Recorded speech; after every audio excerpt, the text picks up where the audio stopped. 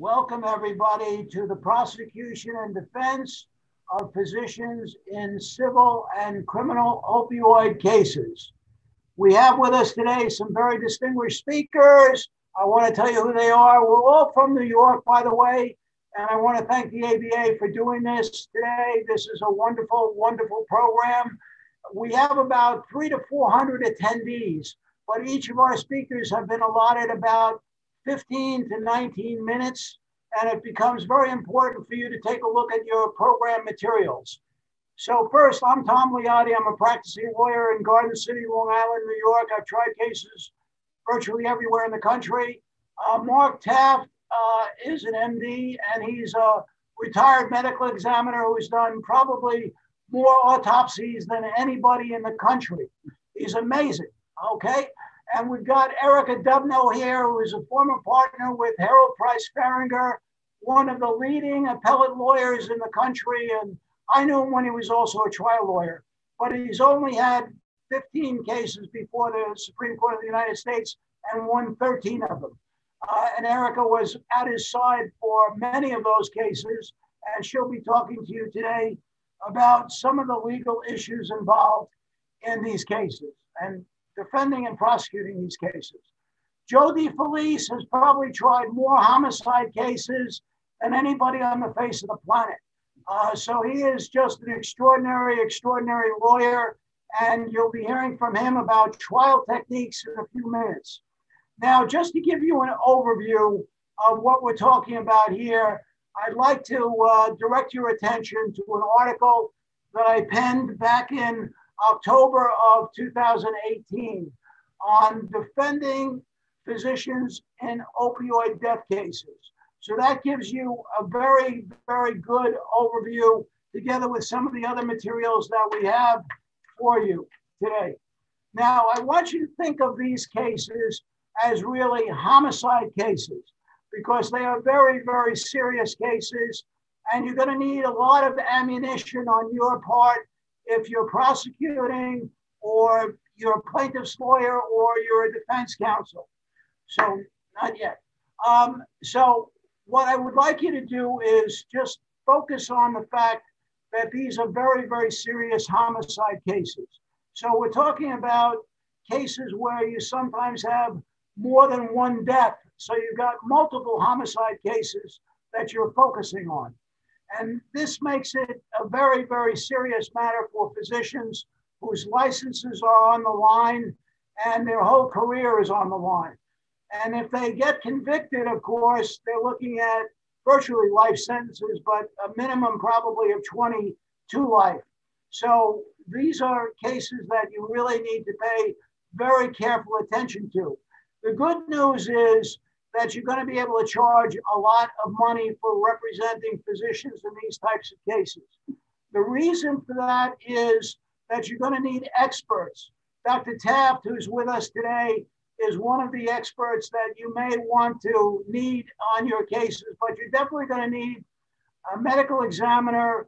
You're going to need a, a toxicologist, probably, and you're also going to need someone who can testify about the standards for prescribing opioid medication.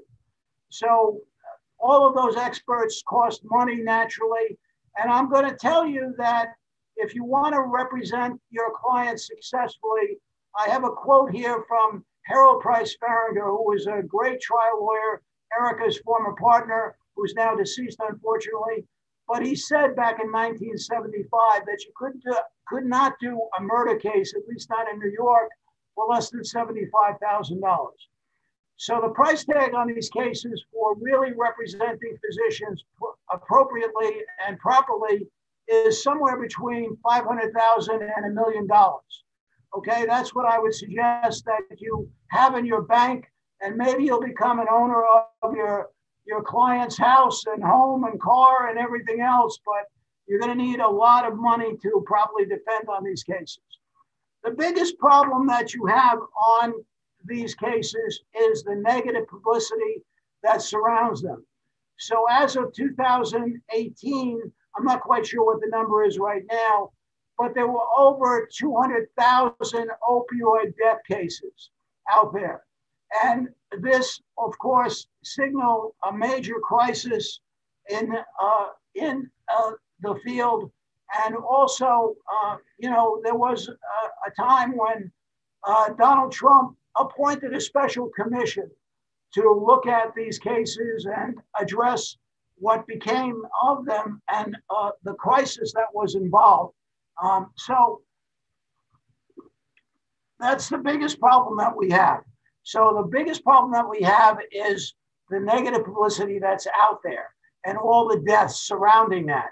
And people form an impression, obviously, before they come into the jury box about these things. And so do judges and so do prosecutors. So you really have an uphill fight. And you have to figure out ways to address that negative publicity. And you have to turn it in your favor for the position that you're representing. So I'm suggesting to you that there are a number of things that you can do. And one of those things is just doing op ed pieces by yourself or by your client, and also having focus groups, or if you can do it, as we did in one of our cases, you might want to get in touch with Crime Watch or other television programs and see if they would do a television show on your client. And your client will then present his best, best picture, uh, and uh, his office and his practice would be presented in the most pristine fashion that you can muster. And after that, you can uh, also have a call in uh, where, you know, the television show would uh, have call ins from listeners and so on and viewers. And sometimes, while you can't necessarily rely on that impression, but you might figure out what your strategy will be uh, based on the reaction that you get from those television shows. Um, so we were in one case on Crime Watch uh, with Amy Dash as a moderator. We thought that our client was going to get an acquittal, uh, but of course he didn't later on. Uh, but we got a 99% reaction from people that our client was not guilty. So we had a clue from that that we were on the right track from a legal standpoint, from a legal strategy standpoint. Now, the next thing I wanted to say about overcoming some of this negative publicity is you've got jurors there that have a preconceived notion about your client, uh, and you need to think about how you can change that. So, in federal court, of course, they have juror questionnaires and you can participate in the formulation of questions for the judge to ask. And what you want to get the judge to do is not to just ask questions that call for a didactic response from uh, the audience or prospective jurors. You want the jurors to say why they can be fair. So you ask a lot of why questions in your voir dire or you propose voir dire questions for the court. Or if you're doing it, and I suggest to you that oh, some judges, federal judges included, will allow you to conduct your own voir dire. And those are the points that you really want to get across. Why can they be fair to your client, given all of the negative publicity that's out there? Now, I want to talk about a few other things. When you first meet your client, let's talk about uh, let's go past money. Uh, let's talk about the client and his appearance. All right. So now let's focus on that for a minute. So, what does your client look like? What does his office look like? Does his office uh, give the appearance of a pristine, good practice? Uh, what what kind of a volume does he have? How many patients does he treat every day? And most importantly, what percentage of his practice deals with the prescribing of opioid medication? So, uh, you know, the government will say that the percentages are very, very high, and they can monitor the number of prescriptions that have been given out uh, by your physician. So it's important for you to focus on that right away. You want to look at also the records that your physician has kept uh, and whether they're good records or bad records, complete records, and so on. What kind of examinations does he conduct, conduct or he, she conducts before they prescribe opioid medication? This becomes a, a critical point because later on, when you're looking at this case and you're looking at videos, let's say that the government has prepared um, um, about your examinations and your client and so forth, and the agents come into your client's office basically trying to do a sting on your client uh, and setting your client up for prosecution, you want to basically look at those examinations to see if they're complete examinations. So I'm not talking about just uh, blood pressure and heart rate and so on. I'm talking about whether your your client has spent enough time with the prospective patient before prescribing pain medication. And of course, if your client is taking cash, and let's say uh, in our case, for example, the, client uh, received $425 on a first visit and then I think $275 in cash thereafter.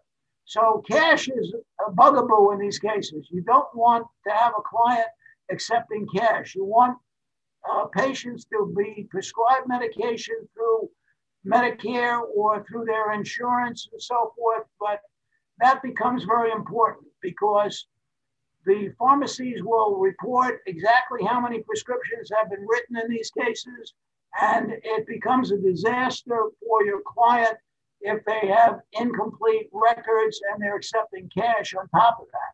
So you want to make sure that your client has filed tax returns and that whatever cash he's made is somehow reflected on those tax returns. If not, then you need to have an explanation for that. Okay, so let's go to the next slide. I want to talk about mapping your strategy. And what you're trying to do in, the, in these cases is without saying it, because you can't say that you're interested in nullifying uh, the law on these cases, but basically that's what you're trying to do. You want to try and blame the government for what's happened. You want to try and blame Big Pharma for what's happened. And lo and behold, if you really do your homework on these cases, you'll be able to find out who, who your experts are on the other side of things, and you'll be able to research whether they've written any articles, and you'll be able to compile some impeachment material about them. Um, so there's a great lawyer up in Buffalo, New York. His name is Mark Mahoney, who's done an awful lot of research on the presentment of a defense on these cases. So he's got about 500 pages. we didn't give you that as part of your seminar materials, but I'm sure Mark Mahoney up in Buffalo, New York would be prepared uh, to send you uh, whatever you need in the way in the way of a right to present a defense. Now let's focus on some of the other issues that you can uh, do and uh, you can engage in as far as blaming the government and uh, mapping your strategy in these cases. So you know that big pharma, in particular Purdue, uh, was manufactured oxycodone in 1995, and thereafter they produced movies and so forth. And they said that only 1% of the people who were taking oxy at that point uh, would be in danger of being addicted. And that's how they marketed the drug back then. Uh, and that, of course, became a problem because physicians were then misled in their prescribing of medication and opioid medication. And many people died as a result of big pharma and Purdue in particular misleading the public in that regard. Now, you might want to think about entrapment as a defense, and that has only been successful in a few cases, uh, but not these types of cases ordinarily. So you have to struggle with getting the entrapment charge, and that means that you have to sort of indicate a confession and avoidance type of defense meaning that your client would not have been predisposed to prescribing the medication in the absence of the government's misconduct.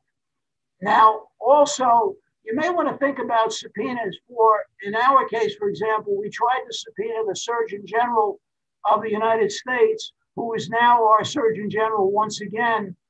And he's a great guy, but he also, back in 2016, in August of 2016, just before Obama left uh, government, uh, he issued what was known as an apology letter to physicians and others, uh, patients included, uh, basically describing uh, that you know the government had screwed up in a sense by uh, not alerting people to the dangers of opioids and also by allowing Purdue and others to market uh, these cases or these products with false advertising.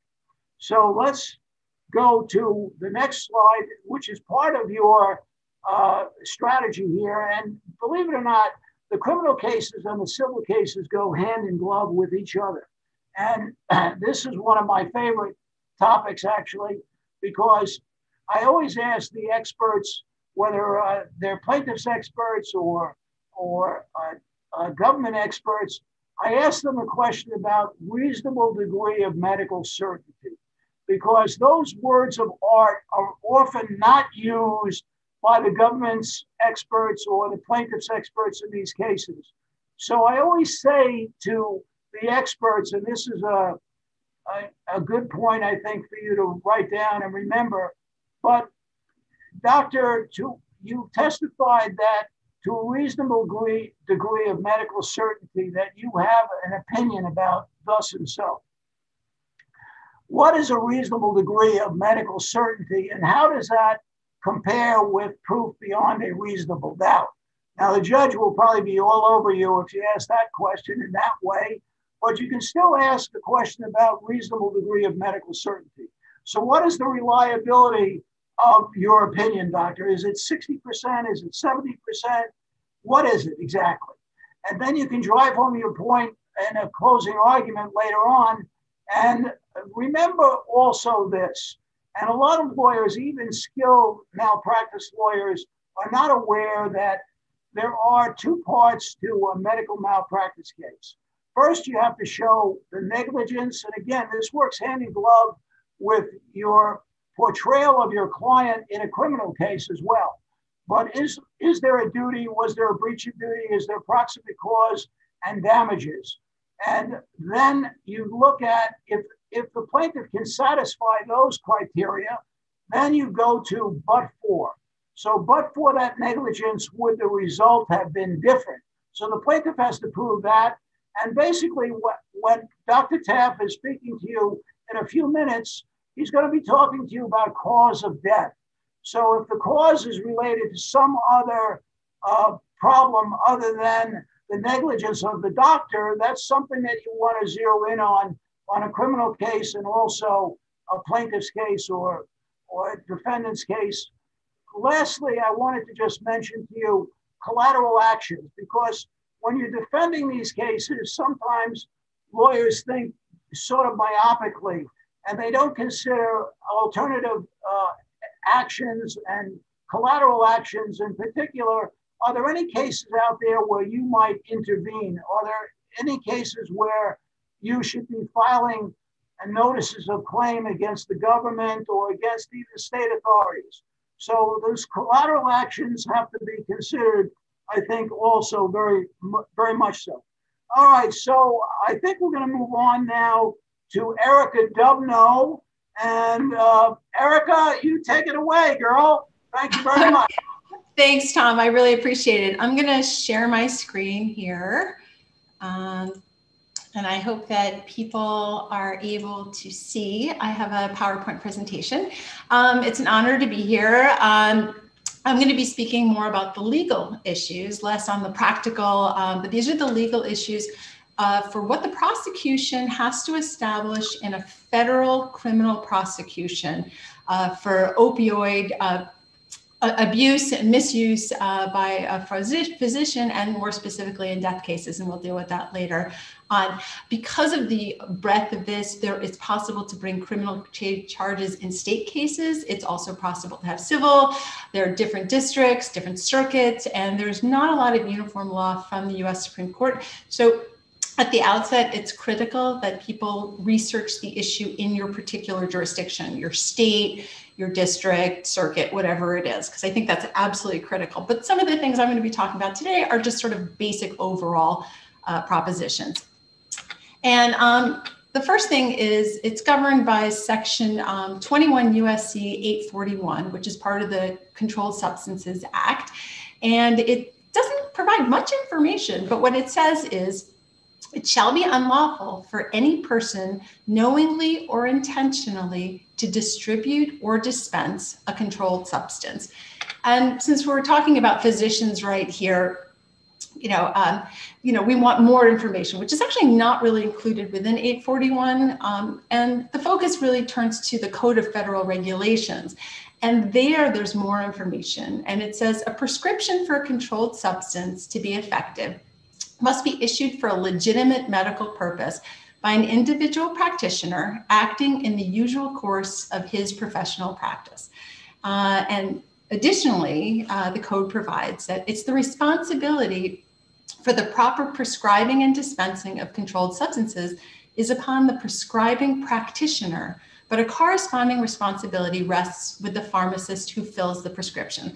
So um, understand that there are obligations both for the, the physician and also on uh, the pharmacist as well. Um, people here may be representing pharmacists. We've been contacted by pharmacists as well. So a lot of the ideas that we're talking about today relate to pharmacists as well. And if a prescription is issued without a legitimate medical purpose or place or outside the usual course of professional practice, the person filling the purported prescription, which would be the pharmacist, as well as the person issuing it would be the doctor, um, is subject to criminal penalties of 841. And as Tom pointed out, those penalties can be incredibly serious, especially where death or serious bodily injury is involved. Um, in 1975, the US Supreme Court, in the Moore case, uh, there was a division as to whether doctors could actually be charged, and the court determined yes, registered physicians can be prosecuted under 841 where their activities fall outside the usual course of professional practice. So the three basic burdens that a prosecutor has in federal criminal prosecutions um, for, for opioid cases is whether the defendant distributed or dispensed a controlled substance.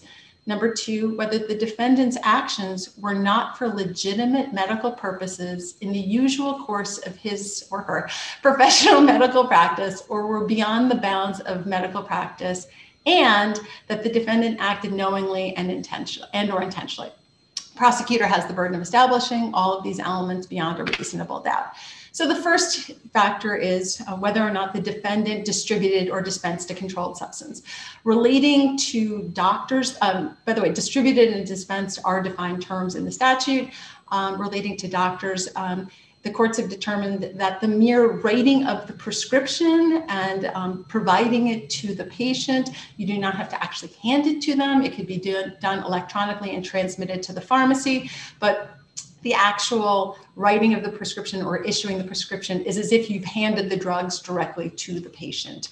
Um, and so that's the dispensing element there. Um, and a prescription is the written representation of the drug and enables its possessor to claim physical custody and control. So in death cases, obviously the patient already got the drugs, um, but it may be that a defendant or a physician can be charged where the patient never even picks up the, pharma, the prescription from the pharmacy. Uh, the next question arises as to whether the actual drug that has been prescribed is a controlled substance and then subject to 841 the courts in general have determined, and this is a pattern jury instruction, um, that whether or not a specific drug is a controlled substance is a matter of law to be determined by the judge. However, whether or not the defendant actually dispensed that is a question of fact for the jury. Uh, it's pretty straightforward on that. I mean, some of these, obviously, like fentanyl and oxy, are controlled substances. You're not going to be able to attack it, but you may be able to attack some other types of medication as to whether or not they fall within 841 or their controlled substances. The second element that the prosecution has to establish is that the defendant, the pharmacist, the physician's actions were not for a legitimate medical purpose in the usual course of his or her professional medical practice. Um, or were beyond the bounds of medical practice. Now, that's the hard one. Those phrases are not defined in the statute. Legitimate medical purpose, which is like the key to these kinds of cases, is not defined. Um, and you know, the good news is that a physician may not be convicted if she made an honest effort to treat her patients in compliance with an accepted standard of medical practice.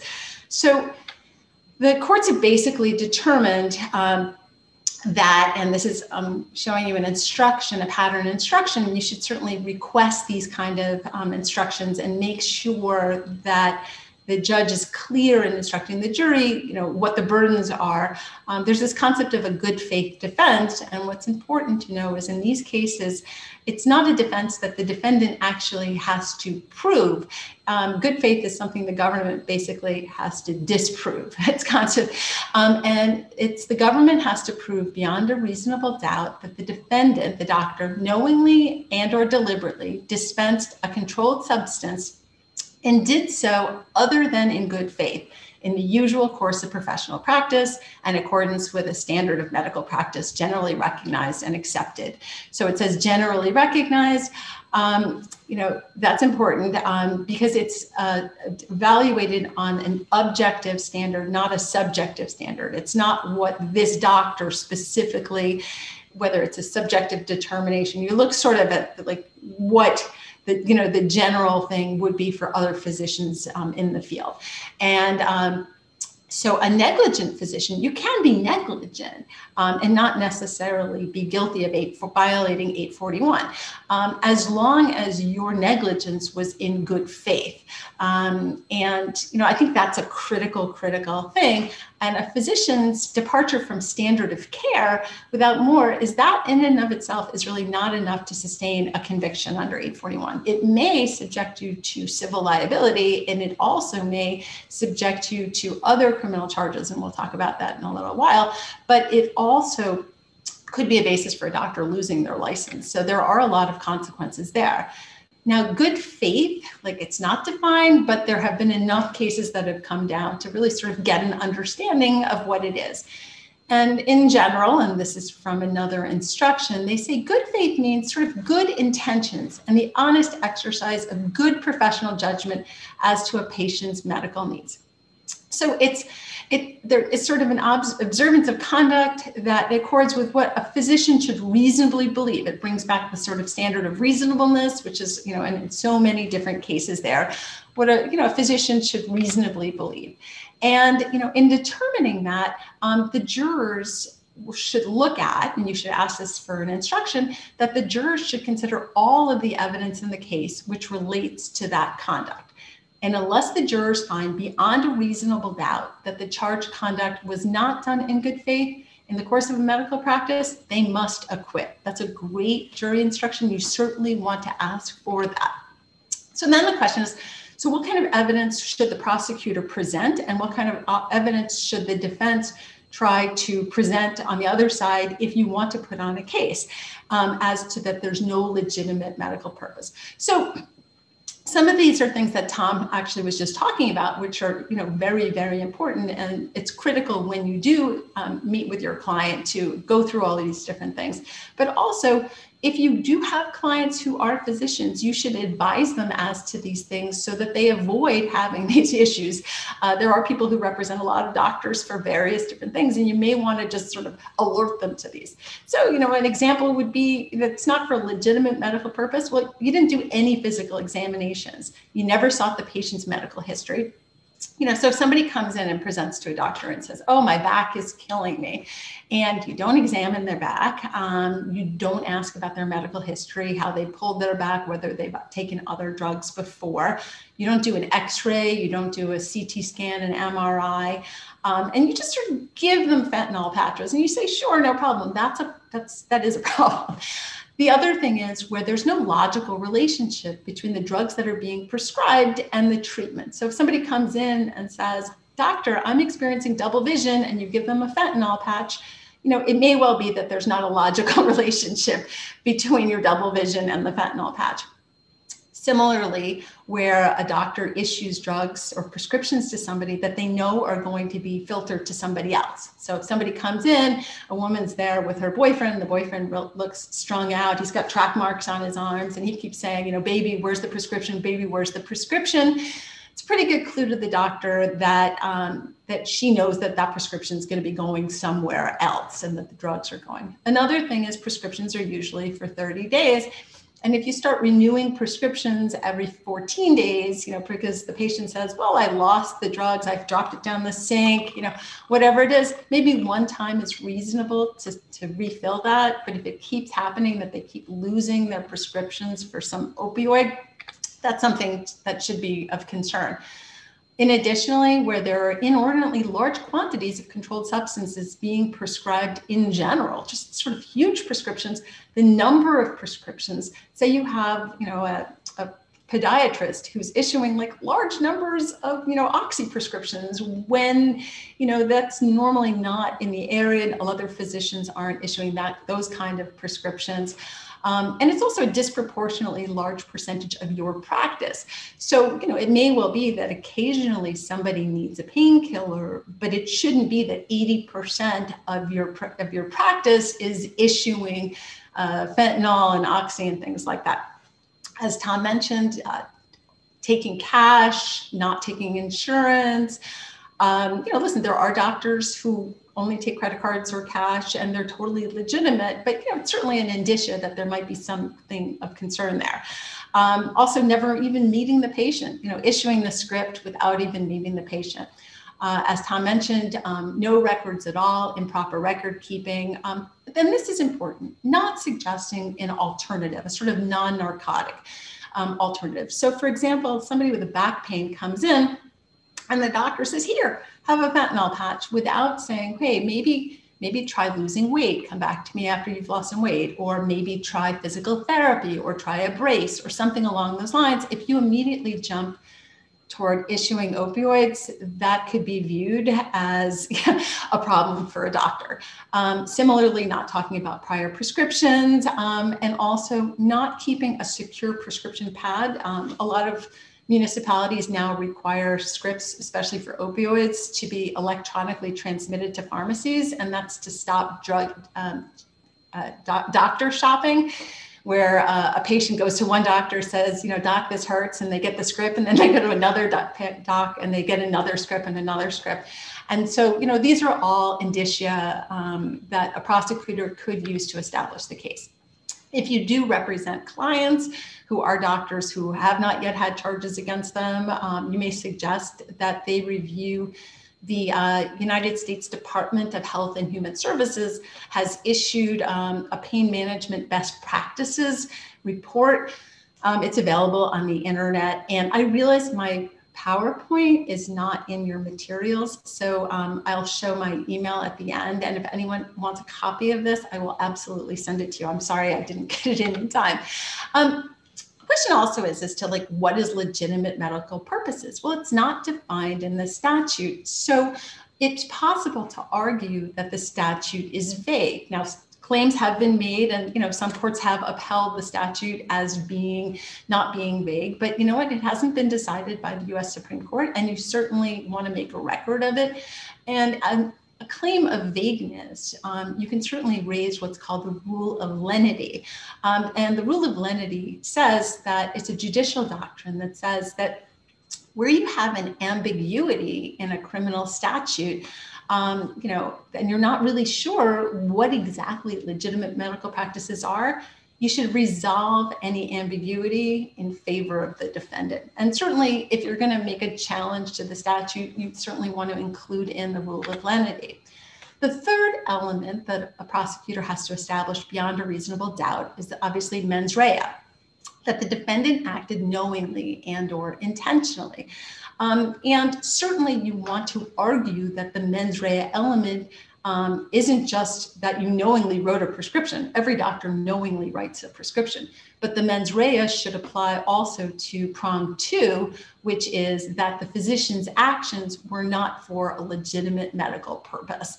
Um, you know, so I think that's important. Now, relating to knowledge, the jurors may infer that the defendant had knowledge of a fact if the jurors find that the that the doctor deliberately closed um, her eyes to a fact that otherwise would have been obvious to her. So, for example, a client comes in, you know, they've got white powder all over their nose, or they've got track marks, or you know, they they're, they're wearing like a legalized T-shirt with a big pot leaf on it, or whatever it is. You know, if a doctor just says, "Oh, here, yeah, like here, have a script," and you know, any reasonable person would say, "Hey, wait a second, this this is clearly an addict, not necessarily somebody who's just sort of has a dependence, but this is person clearly an addict."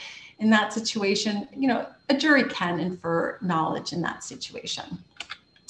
So, um, you know, as indicated before, in some states, a physician may face criminal liability even for like reckless disregard. Um, and Michael Jackson's personal physician um, in California, I think Dr. Uh, Murray, uh, he actually was convicted of involuntary manslaughter in connection with um, his prescribing and administering controlled substances. Um, and they, the court, the statute in California is without due caution and circumspection. Uh, there, he allowed Michael Jackson to have access to really scary drugs and wasn't properly monitoring. Um, he was convicted and sentenced to, I think, four years in jail. However, a physician who is negligent in prescribing and should have known that the patient was lying may also face civil liability there. Um, and as Tom said, you know, for violating um, the community professional standards and a physician's duty of care. Now, you know, we're here about death penalty. I'm sorry, not death penalty, but uh, cases that result in death. Um, that this it's not necessarily in the federal statute a different statute it's still governed by 841 but it's an additional element that the prosecution has to prove, and it enhances punishment and penalties substantially. Um, and in that situation, um, you can basically argue that that should be something that the prosecution has to establish beyond a reasonable doubt, and it's something for the jury to decide, the resulting in death. And you want to say that since the harm to the victim is an element of the crime, um, the jury must find death or bodily injury from the use of the controlled substance, and that's something that the expert's going to talk about in a couple seconds, beyond a reasonable doubt. Maybe cite to the Apprendi case. Um, and just something that I think is really important for people to know recently, the Montana Supreme Court had a case where a doctor was, you know, charged with prescribing drugs to people who were clearly, clearly drug addicts. And, you know, one woman was drinking three quarters of a gallon of vodka a day. Um, and what happened was the patients took the drugs that were um, prescribed by the doctor, but the patient also took other drugs because they had a real addiction problem. And the court found that um, there was a mixture, combination of drugs, and that there was no expert who testified for the prosecution as to which specific drug actually caused the death or whether um, you know each decedent's combination of drugs like was it okay for me to combine you know fentanyl with cocaine or whatever is whether that was reasonable. They said you don't have to have expert testimony all the time but they said that the, the doctor's prescription standing alone that saying that that caused the death that was too speculative. And you know just about addiction and dependence they're not the same thing. If somebody's an addict they may lie to a doctor um, in a way to try to get anything because people are truly truly desperate. So i see my time is up and if anyone wants the materials feel free to email me. Um, and that's it tom you're up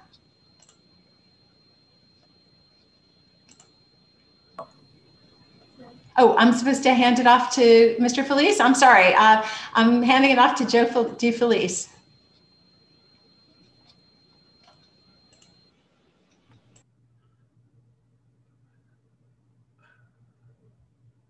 Hello, am I on? Hello? You're on, you're on. They can hear you. Okay, I don't see myself. Okay. Uh, thank you very much, Erica. Um, so the I, I didn't, I don't have a PowerPoint.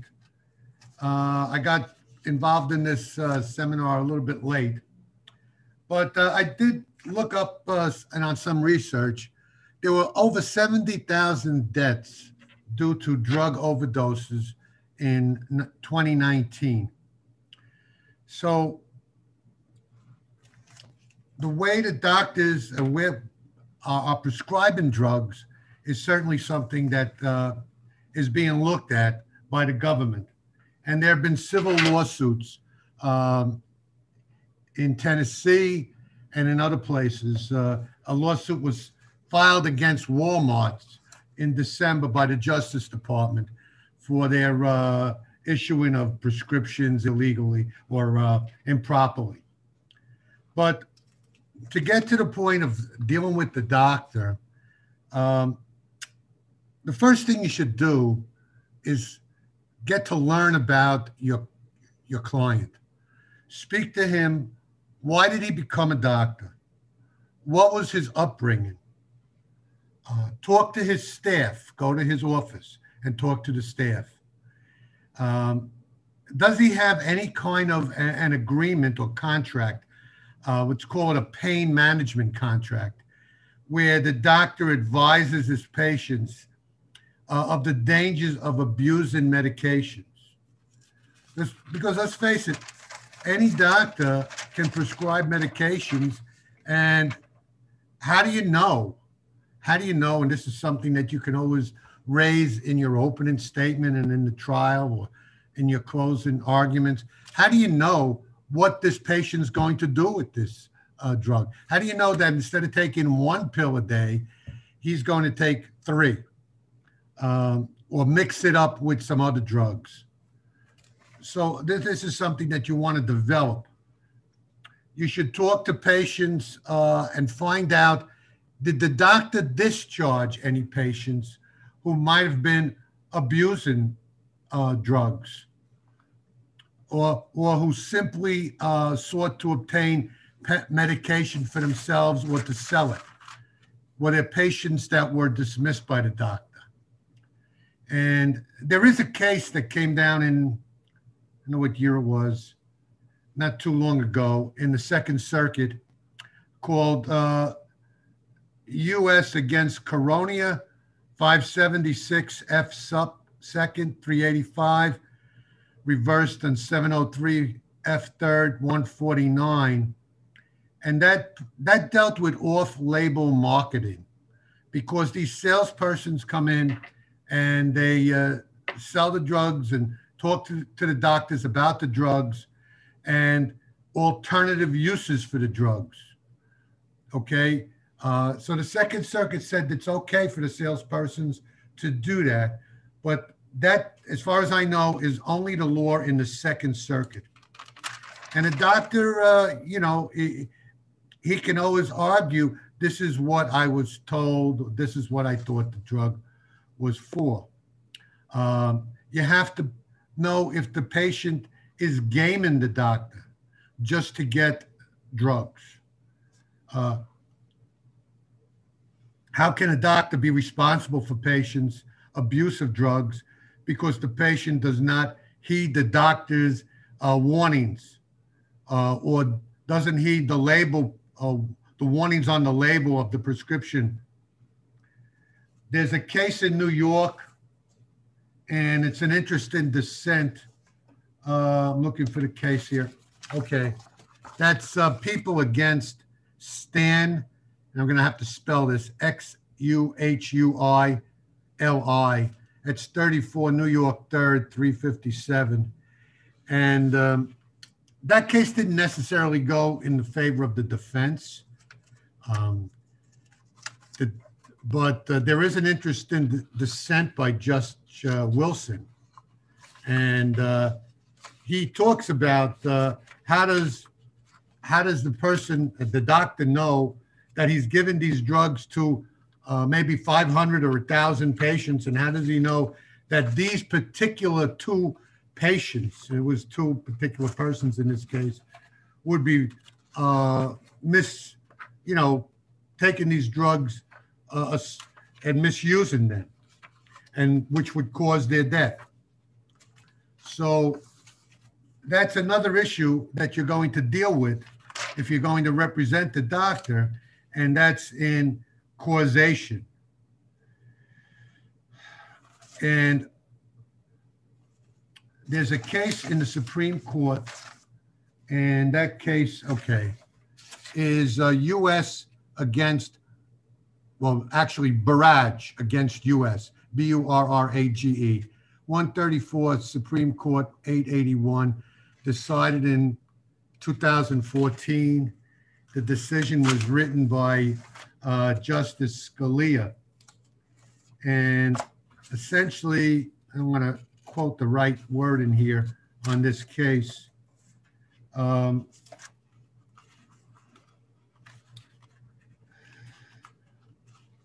essentially, he's saying that there has to be a but for for the causation. If you don't have a but for, um, you you cannot. Uh, that case had to do with um, getting uh, enhancement on a, a sentence. So, where's I want to. In that case, the drug was distri- distributed by the defendant, uh, one gram he sold.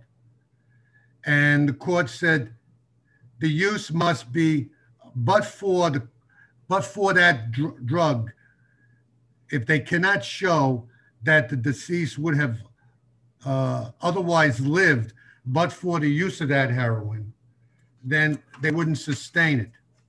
They wouldn't sustain the um, the enhancement of the sentence. And what you want to do is also look at the statutes uh, when you're representing the defendant. And there's a case that came out of Indiana that I thought was interesting. That's 56 Northeast 3rd, 1187, State of Indiana against Sturman. And the defense, among other things, tried to say that uh, in the indictment they had to say how the uh, debt was caused, and the uh, actually the lower court judge uh, upheld that and, and thought that was a good argument, dismissing the counts, which was then reversed by the Supreme Court, and they quote the Burrage uh, U.S. case, okay, and they talk about that. So where where they, they, they, said in that case, when you're talking about causation, that the drug distributed by the defendant is not held that where that drug is not independently sufficient to cause the victim's death or serious bodily injury, a defendant cannot be liable under the penalty enhancement provision unless that such use is a but for cause of death or injury. So you want to argue that, and you also uh, want to talk about the legitimate medical purpose. And I know that was mentioned in a way by Erica, but legitimate medical purpose was also discussed in this Sturman case. And they said it's a very questionable term because it fails to put an ordinary person on notice as to what conduct is prohibited, as well as encouraging arbitrary enforcement of the statute. So you can play with that if you're going to be defending a doctor when you're making your arguments to a jury. And I know Tom mentioned something about using experts and researching about the experts. Well, that's very true. And if you could find something to contradict or impeach an expert. Maybe he wrote something or he knows of something uh, that he said in one place and something else in another. That's certainly good to impeach him. And I always like to use in my cases whether or not a person is giving something that's materially false in his testimony. Because at least in New York, if in the state courts, if you can show that a, that a witness and even an expert has given testimony in one particular issue that was materially false, the jurors can disregard part of that witness's testimony or all of it. And you can certainly grab onto that if you could find something that impeaches the witness, that makes it look like now he's given misstatements only to serve the purpose of the prosecutor. You know, how much is this witness getting from the prosecutor? Does he, how many times has he testified for the prosecution? Uh, what's his income from, from all of these testimonies? So those are issues that you want to look at.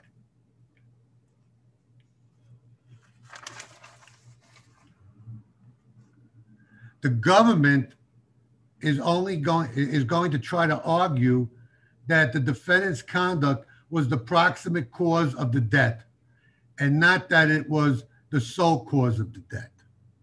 So this is what you're going to be facing in your trial strategy.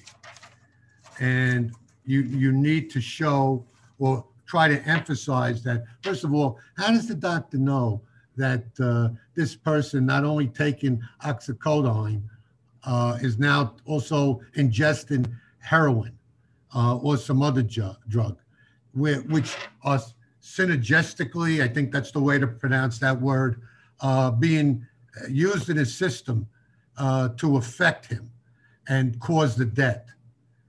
Um, and another thing, you know, and many times with uh, these cases where they've tried to indict people, not doctors, but people that, uh, you know, just sell drugs on the street, how do they know that the drug that they sold or dispensed actually came from that person?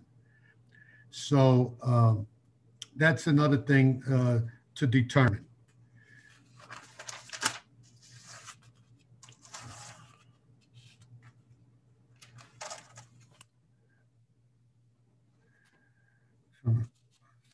There's a couple other things, like a doctor who is uh, being charged with a crime, he may be prescribing drugs, but uh, suppose this patient, uh, defendant, and not pa- the deceased, uh, also was getting drugs from the Veterans Administration, which might be exempt from state monitoring, from the state monitoring program.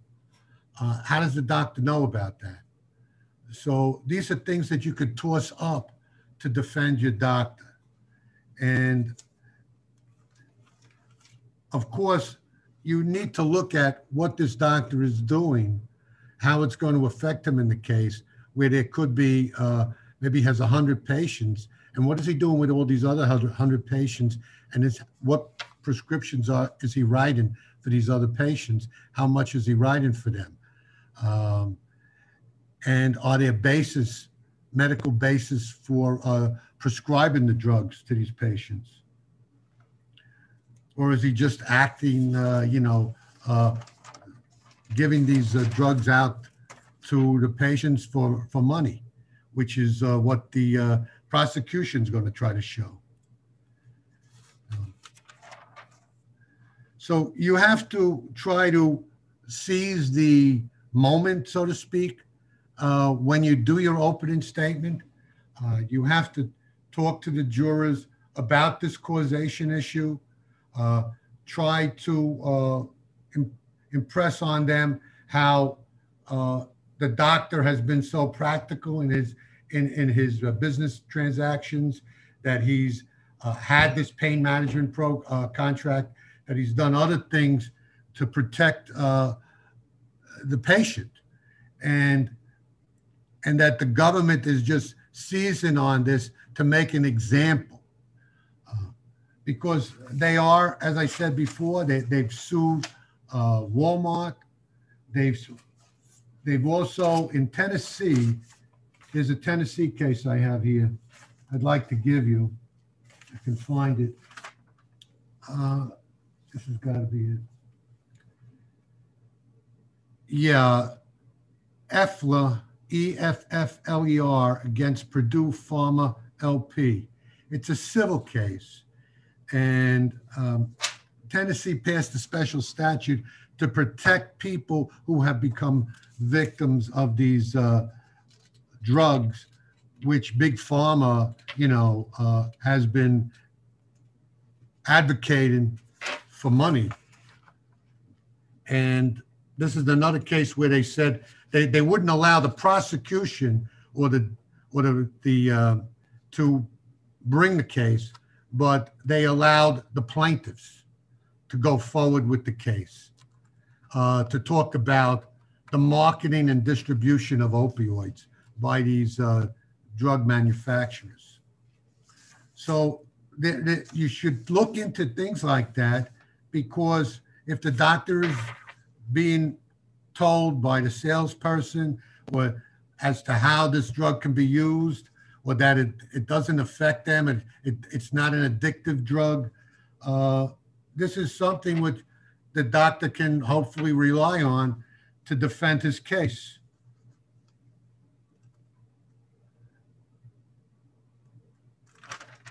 And each each patient has a different pain has a different pain level. So every patient is is different and the doctor takes that into consideration when he's prescribing the drugs and it's something that you should look at as to uh, a def- defense because maybe he's giving this uh, Xanax drug to uh, one person more than he's giving it to another, and it may be for particular medical reasons.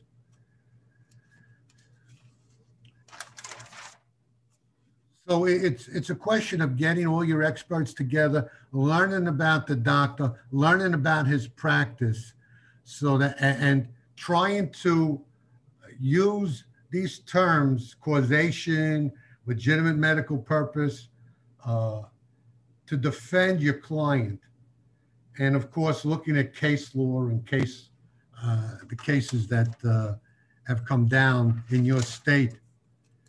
So I think that's about uh, my portion of this. Uh, and I want to turn it over, I guess, to Dr. Taff. Thanks, Joe. Good afternoon, ABA. Pleasure to be here. The basic role of the medical examiner in society is to conduct six-stage death investigations of any person who dies suddenly, unexpectedly, suspiciously, violently, outside of the care of a physician and from drugs. The purpose of a medical examiner death investigation is to sign a death certificate which addresses the cause, manner, and time of death. After obtaining uh, present and past medical and psychiatric history, investigating a death scene, performing a complete autopsy, running lab tests, preparing reports, and signing a death certificate, the information is put together and released into the public domain for all to read and digest. Depending on the interpretation of the results, lawyers decide to proceed with civil or criminal actions. Members of the media decide to give death, deaths certain amount of coverage. Lawmakers and politicians decide to make new or amend old laws. Medical epidemiologists decide to compile the information into vital health statistics. The medical profession decides to scrutinize clinical symptoms and lab test results and classify them in order to improve diagnoses and treatments.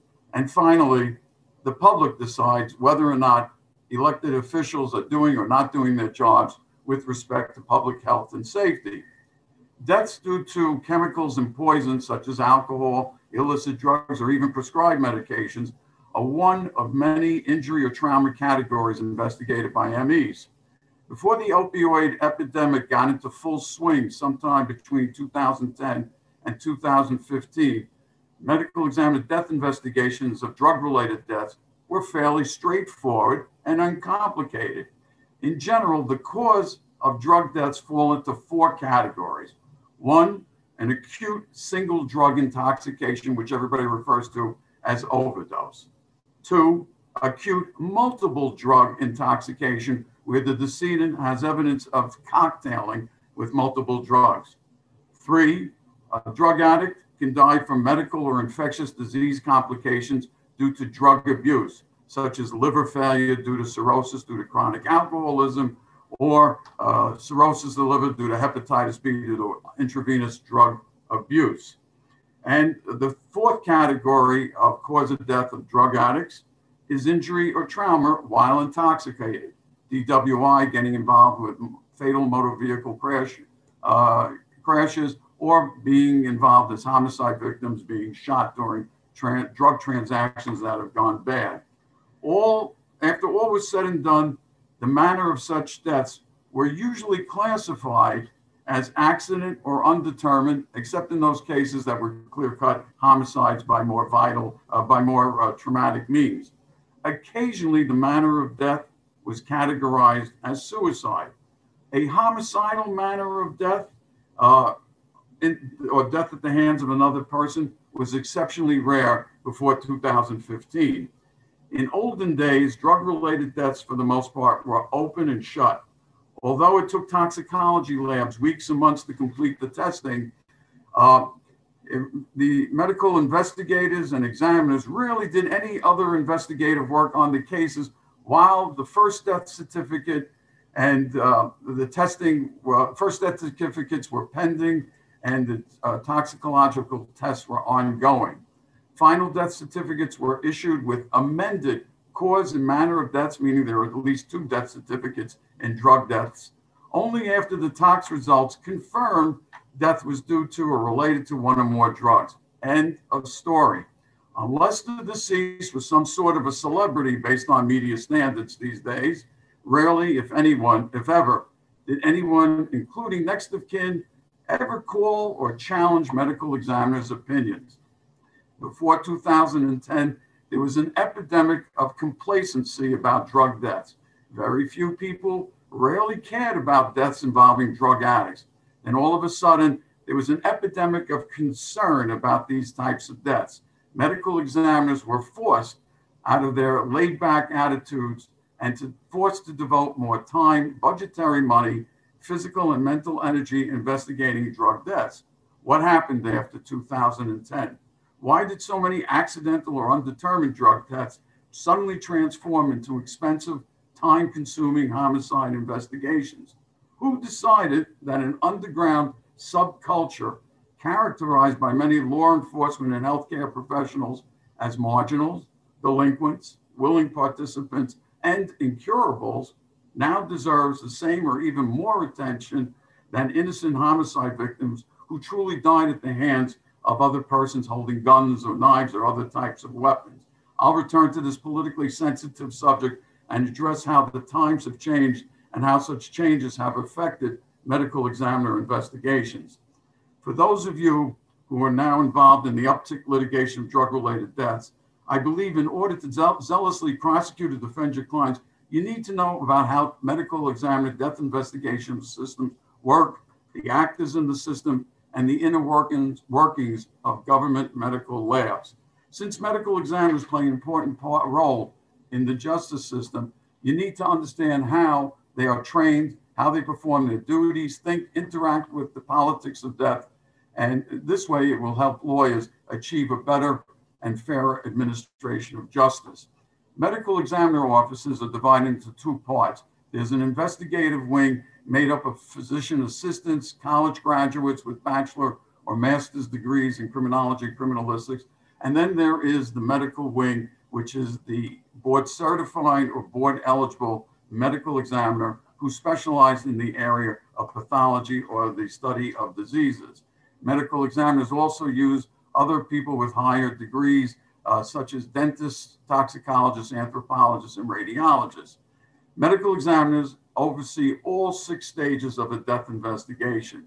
They're personally responsible for the quality, the thoroughness, the timeliness, the quality of the reports, preserving records and, and evidence, and testifying at trial. From a legal perspective, medical examiners are considered accusers, and defendants have the right to confront their accusers at trial. In other words, criminal defense attorneys must be on the lookout for prosecutorial witness substitution. Since drug deaths are considered by medical examiners to be straightforward and uncomplicated, it's not unusual for forensic pathology residents or trainees without board certification to be assigned to these cases early on in their uh, training programs. By the time drug cases go to trial, these individuals have graduated and moved on from the jurisdictions instead of calling the graduates who oversaw the original autopsy and investigation back to testify, prosecutors bolster their cases by adopting more experienced and better credentialed medical examiners to testify at trials. For that reason, they will then turn to the, either the chief medical examiner or deputy chief with outstanding uh, credentials. Um, unbeknownst to uh, many lawyers, medical examiners have subpoena powers to obtain the decedent's past medical and psychiatric records. Because almost all drug deaths were not criminalized before 2010, medical examiner offices rarely use their manpower, time, and, and resources to conduct extensive retrograde behavioral reconstructions or psychological autopsies to develop decedent profiles. Since addictions are now considered controversial diseases consisting of a combination of medical, toxicological, uh, genetic, and psychological factors, it's important that medical examiners understand the deceased and how or his how his or her past uh, is causally linked to death, especially those drug deaths that will be contested at trial. The search and collection of biographical information is cru crucial to forensic addiction medicine. Nowadays, drug addiction is considered a chronic physical and psychological disorder associated with several ongoing episodes of craving, relapse, and treatment. Most drug related deaths represent a final acute relapse.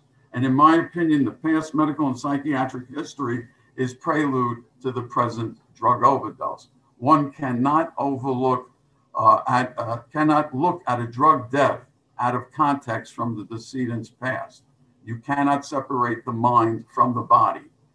Comorbidities is a term that's creeped into the vernacular ever since the coronavirus pandemic hit this country.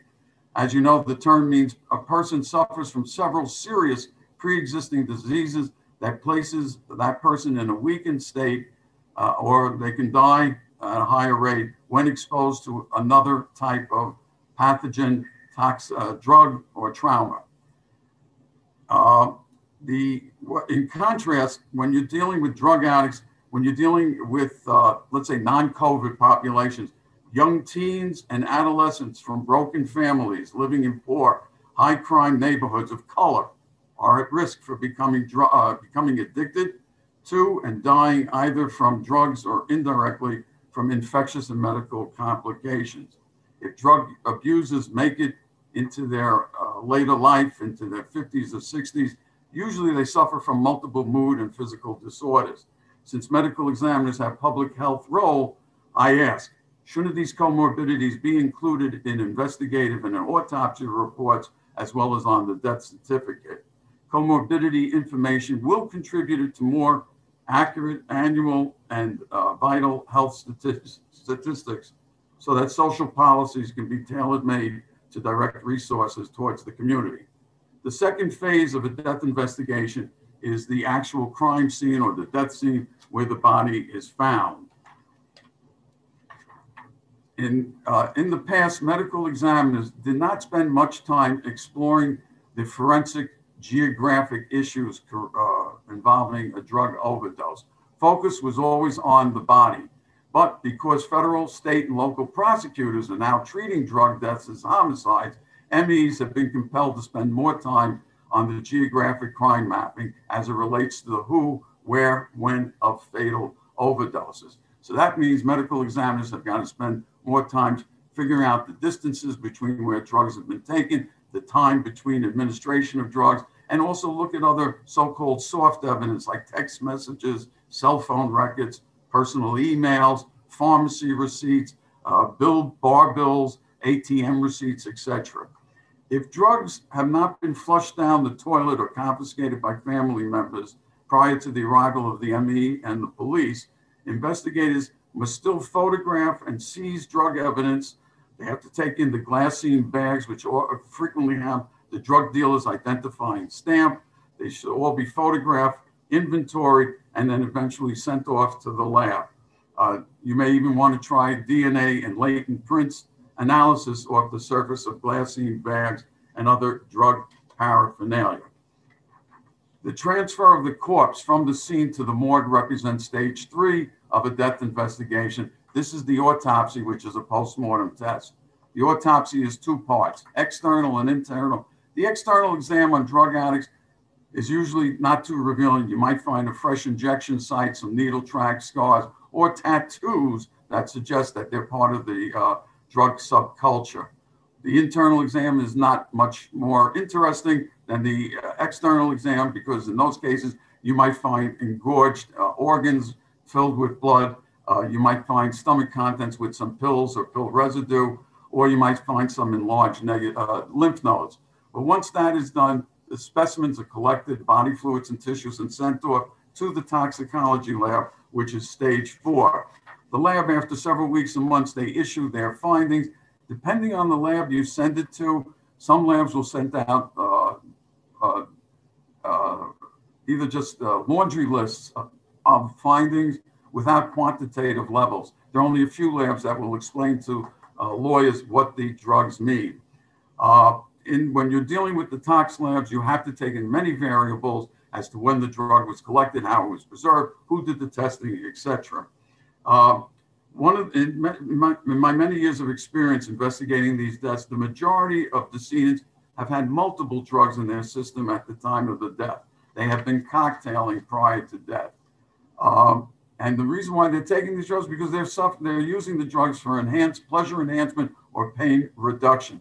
If a drug like fentanyl or heroin is found in low levels, prosecutors frequently turn a blind eye to all other types of drugs present in the screen and ignore the realities of synergism and the long-term effect of uh, chronic drug abuse. Uh, the if criminal investigations find a street or physician drug dealer in possession, possession of certain types of illicit drugs, they're also present in the corpse and at the scene. They the prosecutors will conclude that but for the presence of that drug, this deceased would still be alive. Uh, prosecutors have come up with their own hierarchies of drug uh, danger, uh, danger and fatality. Since stage five of a drug-related uh, death refers to creation preservation of the record, the MEs are the custodians of the evidence and uh, lawyers should definitely make appointments to go to the ME's office to check out the primary autopsy evidence.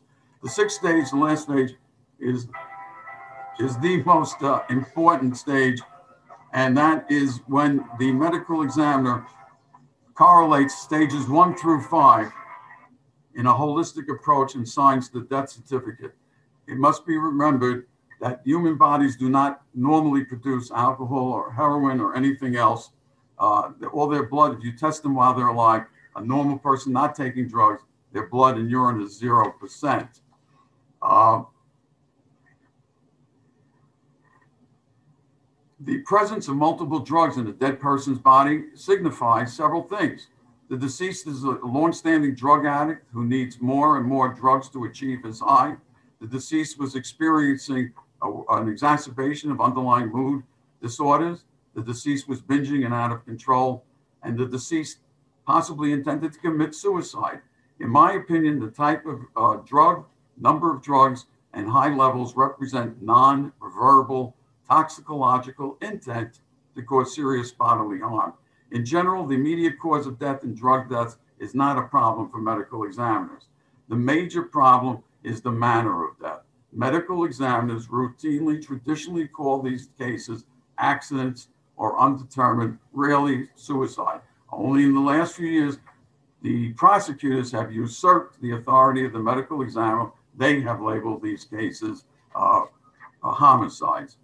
So uh, basically, um, I just want to uh, conclude and just make one other comparison for one more second with the dram shops laws, as most of you know, where alcohol was an issue.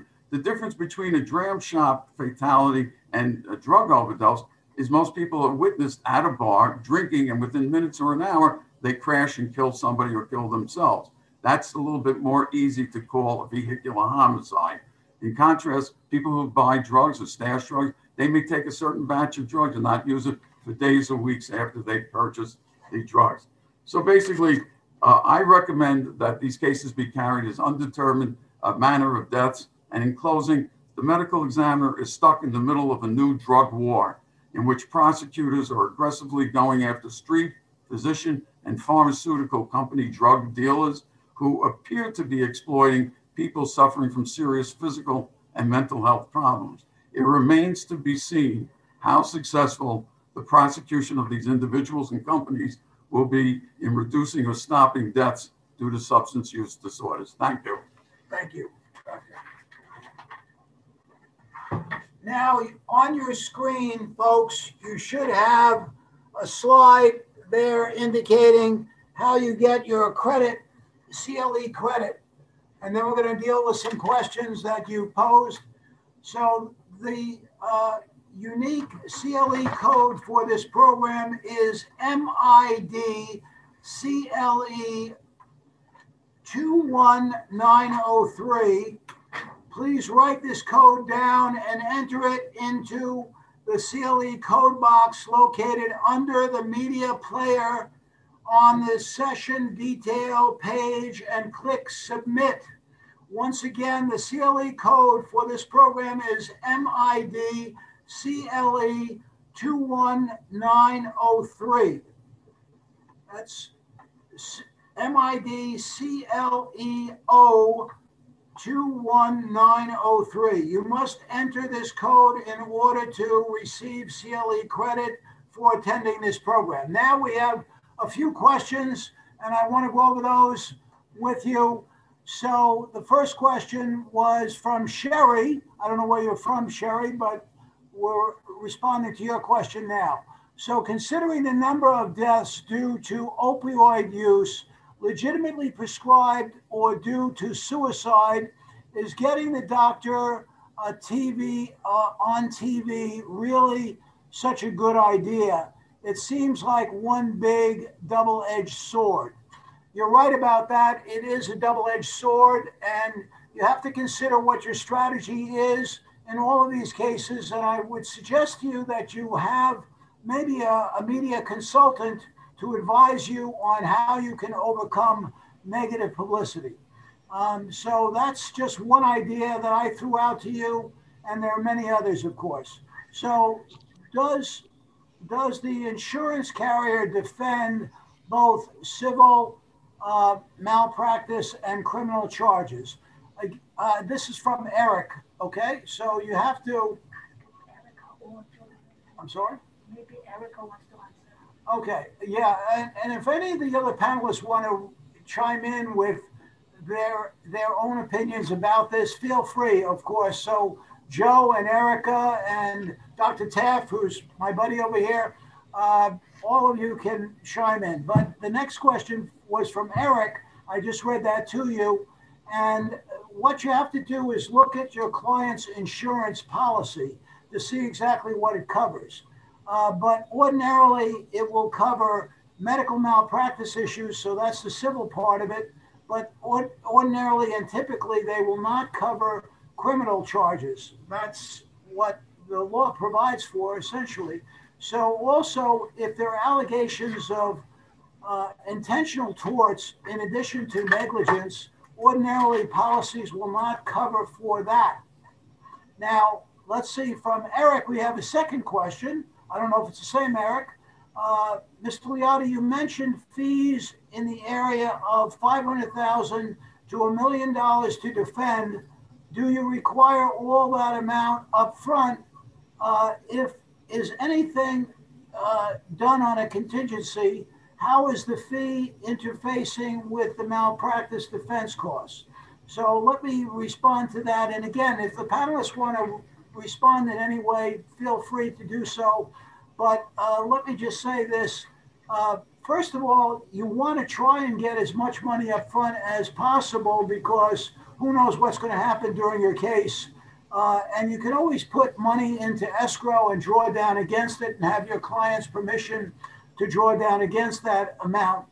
In a criminal case, you of course cannot accept a fee on a contingency. So that's a violation, at least of New York law. I'm not sure about other jurisdictions, but in New York, at least, you cannot take a criminal case on a contingency basis. And again, the malpractice costs definitely uh, relate also to the criminal defense charges. And one thing that we did not mention, you may need another attorney uh, to represent your client on any professional licensing issues. So in New York, we have the OPMC in New York, and there are attorneys who just deal with that part of a case, uh, whether it, it involves negligence or criminal charges or what have you, but they deal with the licensing issues for your client. So you may need another lawyer to do that for you, or you may be able to do that yourself. I know, don't know. But Clem K has also got a question for us. And how can you get out of representing a doctor if they were not clear to you or when uh, on when and how much they could pay, and you found out uh, that their office practices accepts cash for patients. Uh, this is a mess, of course, you said. So uh, once you get into a case like that, and Eric, I guess, wants to say something about that in a second. Um, once you get into a case like that, uh, Monroe Freedman, among others, uh, had given us some lessons. Uh, he, of course, is deceased now, but Monroe, before his death, told us how we can get out of cases, even if your client has lied to you or intends to lie on the witness stand. Without ratting out your client, there are means by which you can deal with that. And of course, you can always make an application to be relieved. But Erica wanted to say something about some of these questions. Oh, um, my only issue is um, in connection with getting your a client on television. Um, you know, obviously that also includes taking into account um, ethics rules relating to pretrial publicity and making sure you stay within the bounds of that. So. Yes. I'd like to add something to that. I always recommend to all medical examiners, all that, don't try the case uh, on the courthouse steps or in front of TV cameras. You're sworn to testifying in a court of law. Keep your mouth shut until you take the witness stand. And as far as obviously, no expert should be working on a contingency basis. Right. Okay. I don't know if we have any other questions, do we? Uh, let's see. There's one more question. What is the trend in fentanyl deaths here in the United States? So I, I think I'd have to turn to Dr. Taff on that question. They're going up. They're going up. Now, are they are they lacing fentanyl with uh, heroin and so forth? Yeah, depending on the type of drug addict and the type of problem they have, some people just use pure fentanyl or pure heroin. Other people cocktail or they're on a binge and they just keep mixing it up. Eventually, things go south and the uh, relapse ends up in death. In those seminar materials that you have before you, you will learn that uh, Purdue, for example, changed the texture and the content of Oxy in 2010. So it became harder to crush that Right. and make it into a powder. And what happened was that created a heroin epidemic, of course, because people went to heroin because it was cheaper and easier to ingest than the revised Oxy was. Let's see, we got another question from MS. Uh, should a doctor always assert Fifth Amendment rights in a civil action, not opioid or or RX related, uh, when there is a criminal investigation pending, indictment uh, related to what's the rest of the question? Where is it? Um, Tom, if you want, I can answer that question if you if you want. Okay, go, go ahead. Um, the question is, um, should a doctor always assert the Fifth Amendment right to it in a civil action, not opioid or RX related, when there is a criminal investigation pending indictment related to opioid RX by same doctor? So typically what we do is we make an application to stay any civil proceedings pending the federal, the um, criminal investigation. Because if you do invoke the privilege, the Fifth Amendment privilege, which a defendant has an absolute right to do, if it's done in a civil case, typically there is going to be um, an adverse inference charge that is given in the case, and your client may well lose the civil case. So we typically recommend staying all civil proceedings while criminal investigations are going on. That's one answer, and I would just amplify this point. Uh, I think you have to look at the credibility of your client. Does your client have a good story to tell, either civilly or criminally? Uh, we put our clients at, at the uh, permission of the United States government into the grand jury. That hasn't always worked out, but if your client's got a credible story to tell and can uh, excuse some of his conduct by his testimony, then you have to consider that. So it's not automatic that you invoke the Fifth Amendment in these cases. Okay, what else we have? Does the insurance carrier defend? Okay, we did that already, right? Is there any other question? We have no other questions, folks. So with your permission, unless the panelists have anything further to say, uh, I think we're done. Thank you very much. I'm going for my second shot just one minute. at the Javits Center on Pfizer today. And my wife is waiting for me downstairs in the car, so I really have to go. But I want to encourage all of you to get the vaccine. Please get the vaccine. Okay? Thank you very much. Take care. Good luck to you.